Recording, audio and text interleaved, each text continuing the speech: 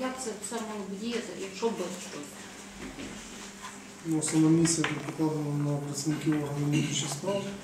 Вони е, пройшли відповідний інструктаж, як себе поводити в різних е, ситуаціях нештатних.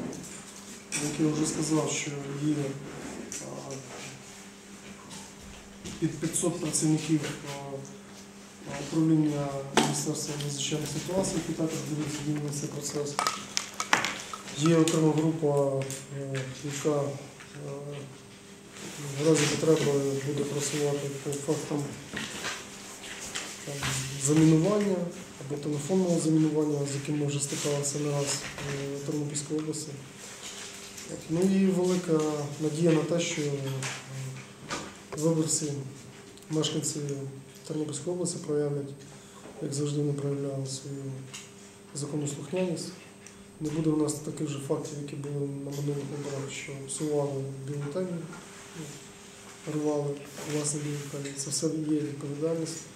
Тим більше, що якраз е, закон України про внесення змін до Кримінального кодексу України щодо посилення відповідальності за порушення виборчих прав громадян доволі посилює відповідальність е, за ряд правопорушень, в тому числі і в частині Е, Деяких статей помінено, наприклад, штрафні санкції на позбавлення волі, обмеження волі, на позбавлення волі і доволі серйозні терміни е,